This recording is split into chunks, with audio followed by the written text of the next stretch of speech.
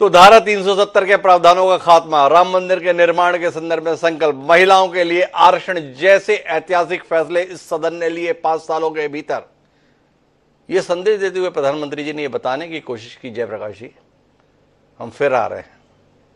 कितना डर गए आप उनके इस दावे को देखकर, उनके संबोधन को देखकर?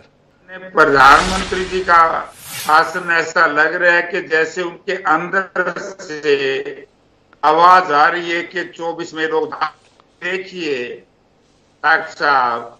जी। अगर इनको किसी चीज़ का डर ना होता छोटी छोटी पार्टियों के आगे इस तरीके से गिड़गिड़ा रहे हैं मतलब जयंत की बहुत छोटी पार्टी है उसको कह रहे राज्यसभा दे देंगे विधानसभा दे देंगे लोकसभा दे देंगे।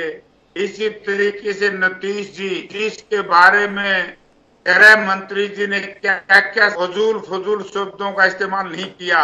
उनको शामिल कर लिया। और मुझे इस बात को सुनकर के बड़ा आश्चर्य हुआ ये नारी महिलाओं के सम्मान की बात करते हैं। जी। मिजोरम में वहाँ नॉर्थ ईस्ट में क्या हुआ? उसके बारे में तो प्रधानमंत्री जी दो शब्द बोलते हैं। गृह मंत्री जी दो शब्द बोलते हैं। खिलाड़ी लड़कियों के साथ क्या हुआ? क्या इस देश की महिला इस बात को नहीं देख रही? जी। तो ये युवाओं की बात करते तो हर मोदी जी ने जिम्मेवारी ली थी गारंटी दी थी। हर साल दो करोड़ नौजवान बेरोजगार नौजवानों को रोज़गार देंगे। कितना रोज़गार दिया? बल्कि लोगों को निजीकरण की तरफ़ धकेलने का काम किया। जो मोदी जी ये कहते थे कांग्रेस ने जल भी बेच दिया, थल भी बेच दिया नब भी बेच दिया। आज कोई निजीकरण से बचा है क्या?